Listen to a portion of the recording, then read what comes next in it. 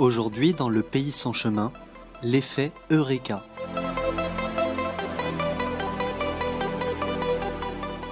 Si on place un grand singe dans une pièce dans laquelle il y a une caisse, et si on place une banane un peu trop haut pour qu'il puisse l'attraper, le singe s'assied tranquillement dans un coin et parcourt du regard les dispositifs expérimentaux.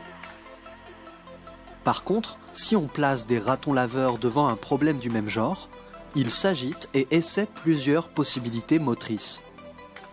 Le singe, lui, n'exprime pas sa tension intérieure de la même façon que les ratons laveurs. Il le fait en se grattant la tête. Et se gratter la tête, ça n'a pas de relation directe avec le problème. Ça permet juste de diminuer la tension intérieure.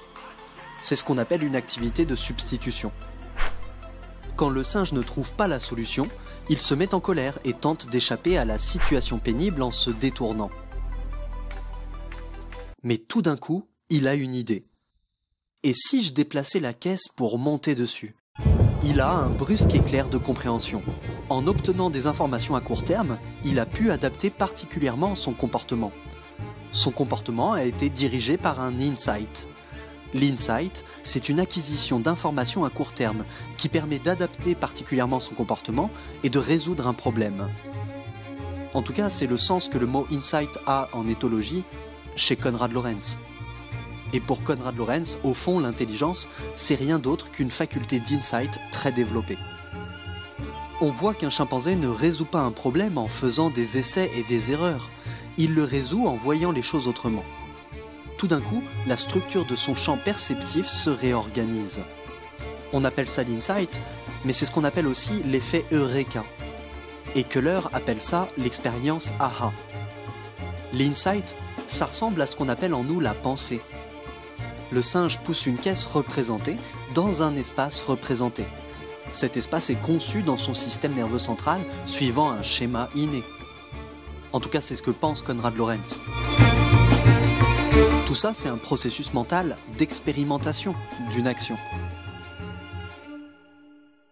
Ce processus ne se déroule que dans l'esprit, dans la représentation mentale de l'espace. Et ça, c'est pas fondamentalement différent de la pensée. Au mois de novembre, on est avant Noël. Mais pourquoi est-ce qu'on dit avant alors que les mois de l'année sont pas dans l'espace, ils sont dans le temps? Tous les rapports abstraits, on les traduit dans le langage en termes d'espace. Par exemple, on dit après l'été, dans un délai de deux ans. On dit que les phénomènes spirituels se passent à l'intérieur de nous, que l'inconscient est en dessous de la conscience, qu'un bruit de fond est à l'arrière-plan de la conscience, que la conscience a des couches plus ou moins profondes, etc. L'espace, c'est le modèle par excellence de tous les rapports abstraits. Par exemple, on dit à côté de son travail, il donne des leçons. L'ambition était plus profonde que l'amour. L'intention était derrière. C'est important de remarquer ça si on veut comprendre l'évolution de la pensée dans les espèces, et donc l'évolution de la pensée avant le langage ou sans le langage. Peut-être qu'il y a des structures fondamentales du langage et de la pensée qui se présentent sous la même forme chez tous les hommes de toutes les cultures, et qu'elles leur sont innées. C'est ce que pensent Chomsky et ses collaborateurs. Pour eux, ces structures ne sont pas apparues parce qu'on doit se comprendre pour que notre espèce survive. Elles sont apparues sous la pression de sélection de la pensée logique. Le langage, c'est pas seulement un moyen de se comprendre extérieurement, c'est aussi un élément constitutif de la raison.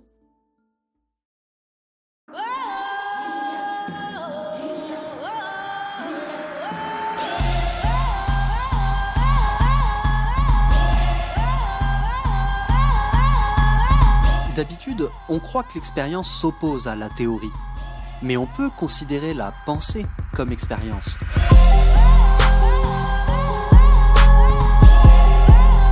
Seulement, c'est pas une expérience comme les autres. Et c'est pas non plus une expérience de pensée. Une expérience de pensée, ça consiste à étudier en pensée ou sur le papier les conséquences de certaines hypothèses, qu'on confronte à ce qu'on sait du comportement des objets qu'on étudie. Le scientifique se pose d'abord une question dont le but est de trouver une vérité, et ensuite seulement il fait une expérience de pensée. Mais quand on fait l'expérience de l'évidence, on fait l'expérience des principes qui permettent le savoir. L'évidence, c'est l'expérience vécue de la vérité.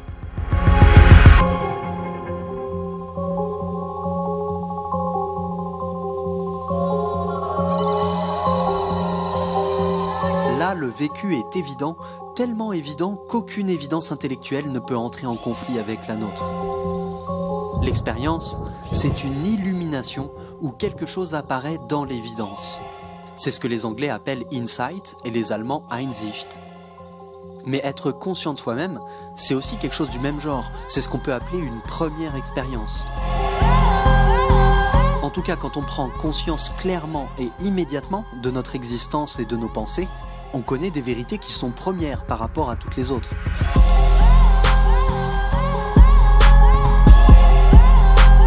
C'est pas des vérités de raisonnement, comme le théorème de Pythagore.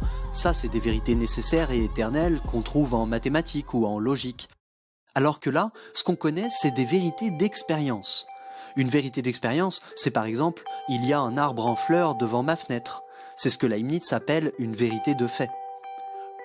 Quand on prend conscience clairement et immédiatement de notre existence et de nos pensées, on connaît les premières vérités d'expérience, ou plus simplement les premières expériences. Dans ce cas-là, l'entendement est directement en rapport avec son objet. Les premières expériences sont immédiates. Et pour Leibniz, on peut les prouver. Au fond, l'expérience ou l'expérimentation, c'est pas seulement avoir conscience, éprouver ou ressentir, comme quand j'expérimente en moi des idées qui proviennent au départ de l'extérieur et qui ne dépendent pas de ma volonté, ou quand je prends conscience que j'ai une volonté et une capacité de juger. L'expérience, ça peut être aussi autre chose. Ça peut être l'expérience de l'évidence des idées, des nombres et des figures, ou l'expérience de l'évidence du principe selon lequel des quantités égales ajoutées à des quantités égales font des tout égaux. C'est ce que Descartes appelle les notions communes, et c'est des idées que le sujet ne constitue pas. La pensée trouve en elle-même des idées de différents types. Et quand on fait l'expérience de l'évidence des notions communes, on fait l'expérience de la vérité.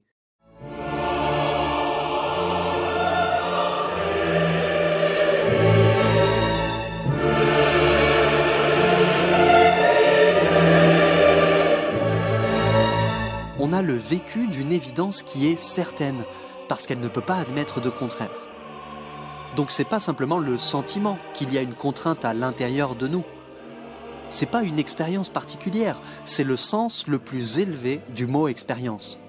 L'évidence, c'est le phénomène général et dernier de la vie de l'esprit, l'esprit dans son rapport aux objets qu'il vise. L'évidence, c'est un mode de conscience dans lequel les choses qui se présentent apparaissent elles-mêmes, en personne.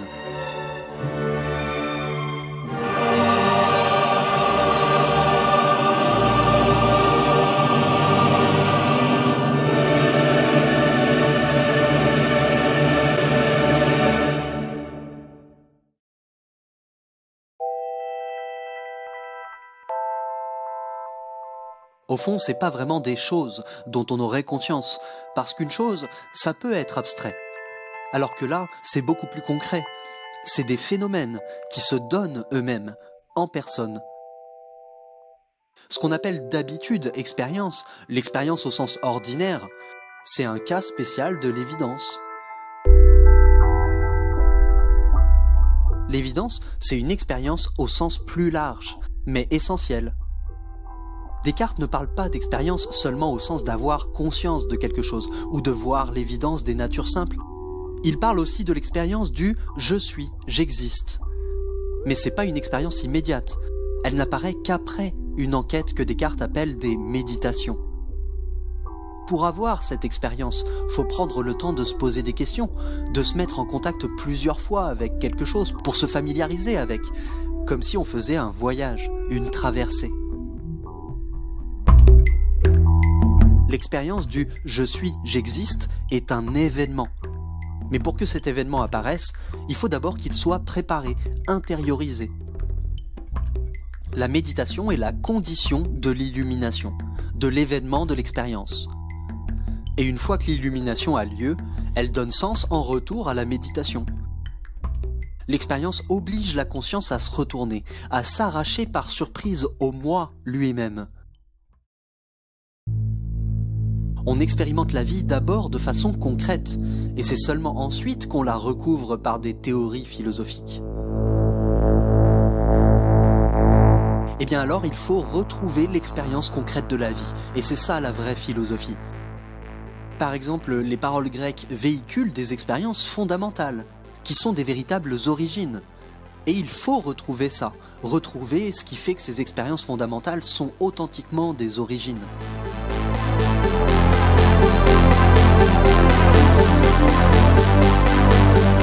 De la philo, on a des idées dont le sens ne vient pas de l'expérience ordinaire. Au contraire, on essaie d'exprimer une expérience philosophique.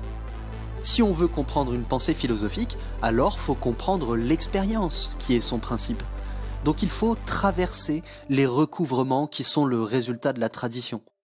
Et là, on fait l'expérience de la vérité.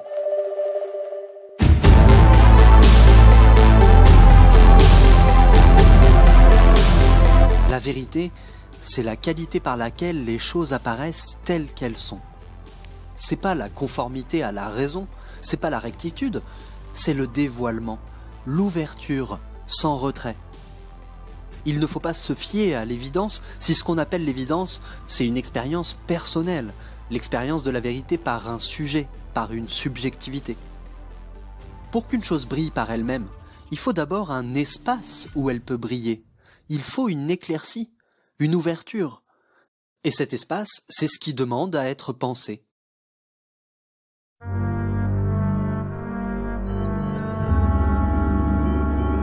Quand on fait l'expérience d'être libre, par exemple, et d'être en quelque sorte perdu, jeté dans un monde qui était là avant nous et qu'on n'a pas choisi, alors on fait l'expérience de l'angoisse.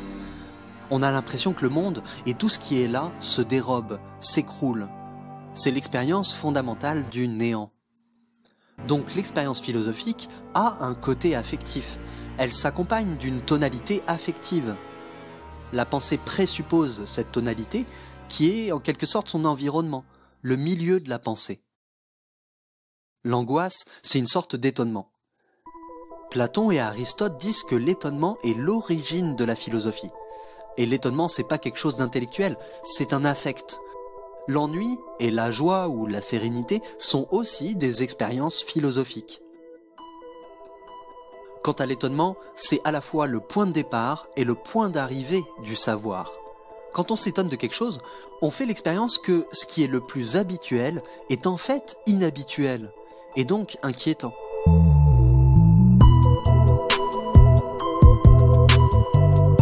On a l'impression que la chose se cache, se retire, se voile. C'est à partir de ce retrait des choses qu'on fait de la philosophie. Il faut d'abord faire l'expérience de ce retrait pour ensuite essayer de dévoiler les choses, les révéler, les amener à la lumière, bref, les arracher à ce retrait. On dirait que la nature aime à se cacher. En tout cas, c'est ce que dit Héraclite. Pour le Samkhya, une philosophie indienne, rien n'est plus pudique que la nature qui, s'étant dit j'ai été vu, ne s'expose plus jamais au regard de l'esprit. En tout cas, l'étonnement, c'est une tonalité affective dans laquelle l'être des choses s'éclaire et pour laquelle il s'éclaire. À l'époque moderne, on a remplacé l'étonnement par le sentiment de certitude. Mais aujourd'hui, le sentiment fondamental de la pensée, c'est plutôt la retenue en général, la pudeur et l'effroi en particulier. Faut bien faire la différence entre l'expérience que la pensée entreprend et l'expérience de la pensée qui nous arrive. Par exemple, l'expérience de pensée, c'est une expérience entreprise par la pensée. Mais c'est pas pareil que l'expérience de ce qui exige d'être pensé. D'un côté, on a un essai, une tentative volontaire, et de l'autre côté, on a une expérience qui s'impose de façon imprévisible aux penseurs.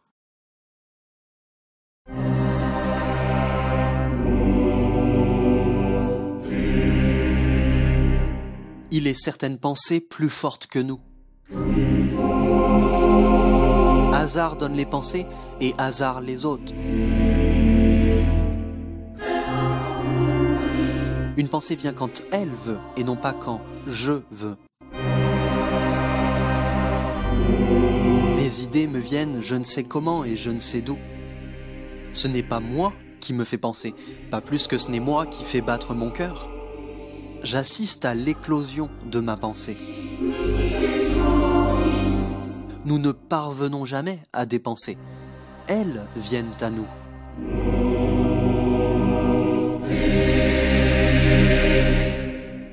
Et une pensée qui vient à nous, c'est pas un vécu subjectif et ça ne relève pas d'une méthode de pensée. C'est un événement parce qu'elle nous fait advenir à notre être le plus propre. Elle nous rend ce qui nous est le plus propre.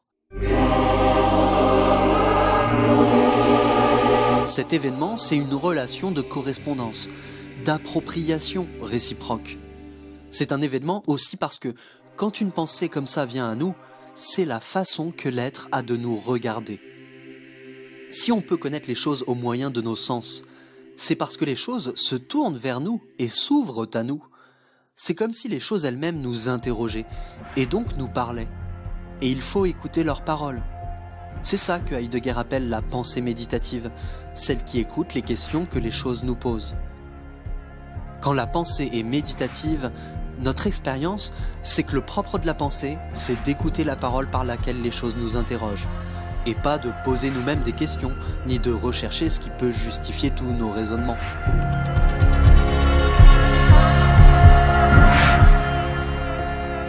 Voilà, c'est tout pour l'effet Eureka. J'espère que cet épisode vous a plu, et si c'est le cas, pensez à vous abonner, à liker, à partager et à commenter. Et moi je vous dis à bientôt